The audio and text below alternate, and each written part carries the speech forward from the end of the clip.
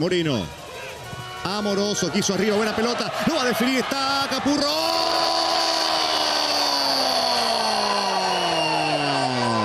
Le pegó Capurro. Tapa Lampe. Enorme el grandote de Bolívar sobre tres. Se acaba de salvar Bolívar. Enorme la tajada de Carlos Emilio Lampe Capurro, que terminó de frente a portería y en la definición terminó dándole más potencia que dirección. Centralizado el remate, llegaba al cierre Jairo Quinteros. Sin embargo, la pelota que se va a ir al córner para que continúe el buen inicio del equipo de, la Torre.